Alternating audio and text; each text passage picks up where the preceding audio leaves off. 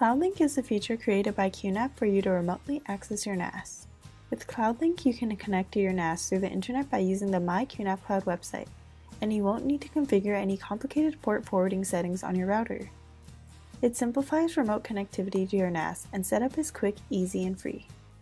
CloudLink connects your NAS to the server if your router doesn't have UPnP support for port forwarding.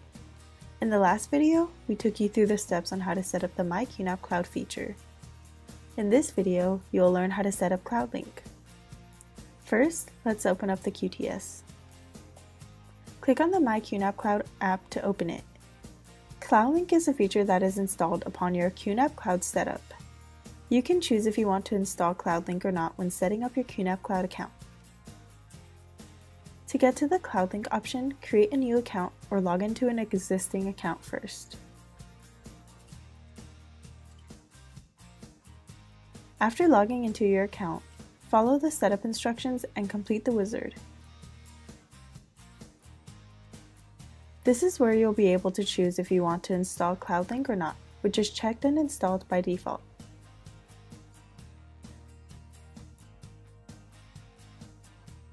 The status of the auto router configuration will show a warning sign when no ports are working and it's disabled, but CloudLink is an alternative connection method that will let you access your NAS. If the auto router configuration doesn't work for you, CloudLink will establish a connection instead.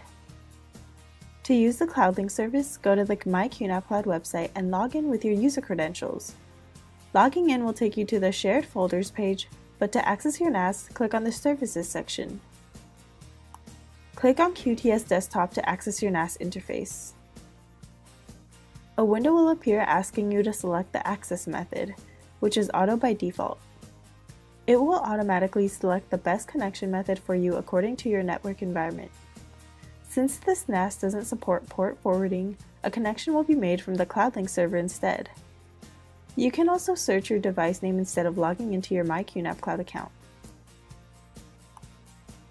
After you make the search, your Published Services page will load and you'll be able to access your NAS. In addition to the web-based connection, CloudLink also lets you connect to your QNAP NAS with your QNAP mobile apps, such as QFile and QManager. CloudLink greatly simplifies remote connectivity and you'll be able to access your NAS everywhere with CloudLink. Thank you for watching and don't forget to check out our other videos.